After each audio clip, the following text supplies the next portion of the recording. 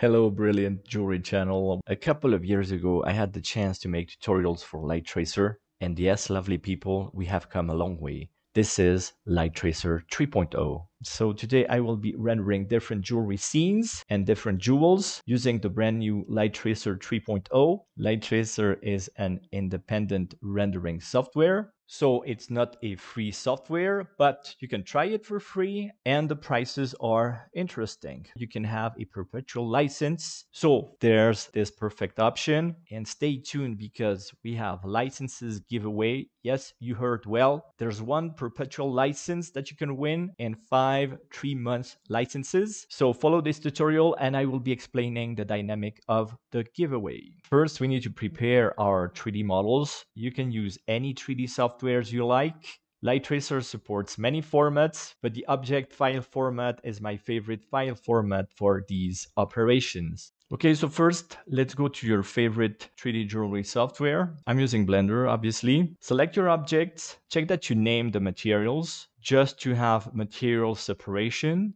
File, export, object, selection only, material groups, and export your file. You can use other formats, but the object format brings the material naming, and that's very practical. Then I will be using this female head 01. It's a free model on Sketchfab from Lesser B3D Fab. I'm going to download the free GLTF zip file and extract the GLTF to my folder. Then in Blender, I'm going to import the GLTF. This is the one. I'm going to scale it 90 times I'm going to remove uh, this earring there and I'm going to export this head as an object file. Selection only, yes, no material groups. Now I'm going to import it again as an object. There it is. Okay, now select an element, pressing shift so you keep the rest of the selection as bright yellow. Make a control J to join all the objects to the selected mesh. Call this head.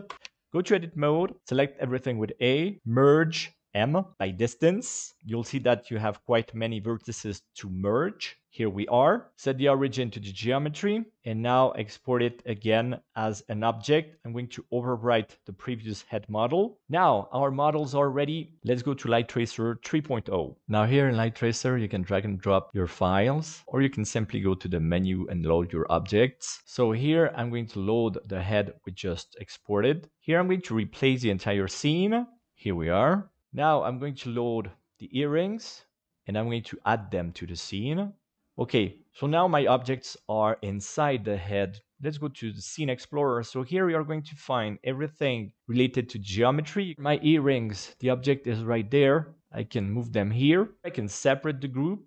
And now I'm going to select the left earring and I'm going to bring it into its perfect position right here. And here I'm going to raise the other earring. Don't forget to save your scene, save scene, save and be happy. Now let's go to the materials. So Light Tracer has a huge library of materials, IBL lights, and HDR environments. You can use them, you can customize them, and obviously you can bring your own textures and create your own materials and save them to the library. So I'm going to search for the gold materials. We have several options of colors and surfaces. I'm going to use the 18 karat gold right there. So drag and drop. And that's what we love in Light Fast, easy, and efficient. That's the logic here. You'll get amazing results very quickly. Now for the gem, I want an amethyst. Here's the amethyst gem, drag and drop.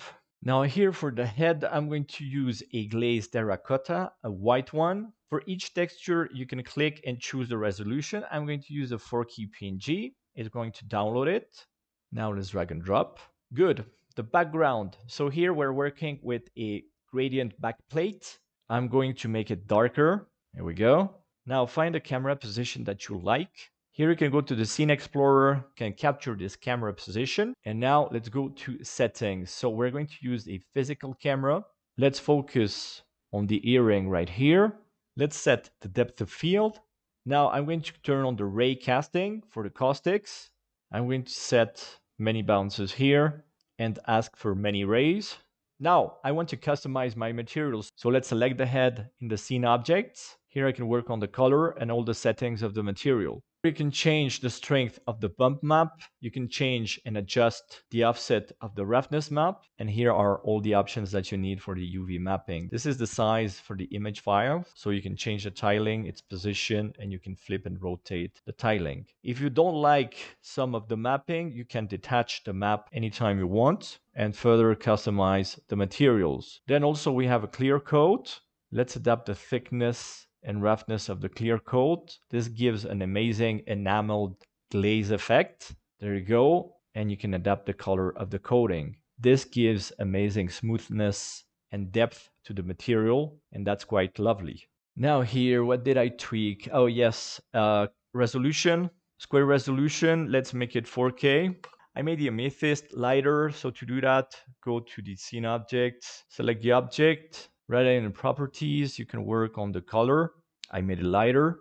Now also I reset the depth of field. So center it where you want it. The strength of the effect. The position of the camera, you can overwrite previous settings or add a new position. And now let's work on the light. So we have the HDR environment making the light. Let's set it to zero to prove it. That's the intensity of the HDR, but obviously you can add light sources. So add and let's bring it to a position. Okay, here the, the scene moved inadvertently in a perfect position. So let me go to the scene explorer, camera, add a camera position and save this position. Then let's go back to the lights. So I was working on this light right there. If you make a small and powerful light source, you are going to get the light tracing, the advanced light tracing is turned on up here, turned off, turned on. The bidirectional path tracing. And then the result of the metallic caustics is mainly due to the position of the light source and the jewel. So then it's all a game of cat and mouse. Also, maybe I want some dramatic shadows. And then let's reset the depth of field given the new camera position right here the position and strength of my light source. This one is very small and very powerful. We can see some metallic rays here on the cheek, a nice background shadow from the earring using the same light source that I used previously. Save this new image, view number two, and be happy. Then it's all about the sampling. At 2000, you'll be pretty fine for the ray casting. I'm going to go higher right there and then you can see the progress of the render. You can hide the side menus obviously right there. Here, the render is done. Also, don't forget the denoising. We're going to use the AI GPU denoiser with a 100 interval right there. And this is a result. And now I can save my image. I'm going to save a simple 8-bit PNG right there. Now let's go back to the earlier camera position here. And if you really want to see more ray casting, just put a lot stronger light, find a sweet spot, and you will see these amazing rays popping up like here. Then just wait for a nice amount of samples to compute and everything will be fine. Let's check from the other angle with the other light source. The light tracer is up to the task. And let me remember you that not that many softwares are capable of tracing metallic and refractive caustic rays. Save and be happy. So for the license giveaway, to participate in the license giveaway and have a chance to win, you must post a comment on this video saying that you want to participate in the licenses giveaway. Then you must send me an email at rohrbach 3D at gmail.com. Then I will answer you with a unique code and you will have to post that code on your same YouTube comment to complete your participation. And don't forget to check the terms because you will be accepting the terms. So the winners will be those who post their confirmation code in their same YouTube comment as an answer. The fastest to do that will be the winners. So there is one perpetual license and five three months licenses for Light Tracer 3. The terms mainly say that I will only share your email with the Light Tracer representative for the purposes of this giveaway. And past that, I have absolutely no liability, responsibility, relation of any kind about what happens after. That will be between you and Light Tracer. All right. So don't miss the fun to participate. Good luck to all. Great. So now we're going to work on a new scene. Here I brought one of my hands model and a chain. Now notice that the chain is not a group. I've separated the group into all the links.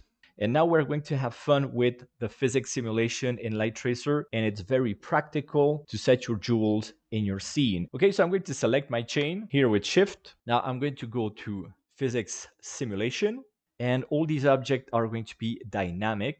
Now the gravity factor, I'm going to set it to 10. Now we can run the simulation and we can also record the simulation to create an animation. And that's what I want. So I'm going to record and it's finished. So in the animation tab now, down here we have what we recorded and I'm going to add it to the output video. Now when I play the frames, I get this. But also you can grab the elements and you can play with them. You can move them and the simulation is going to be calculated live. Yes, it's that fast. So obviously it has become a great tool here in Light Tracer. Now I'm going to stop the simulation here and I'm going to record this simulation. It's done. Finish the recording. I can add this recording to the timeline and play it and obviously render the animation. Okay, so now I'm going to prepare the render. Let's set gold here. That's going to be my angle for the camera. So I'm going to save this position here. So now I'm going to animate the camera.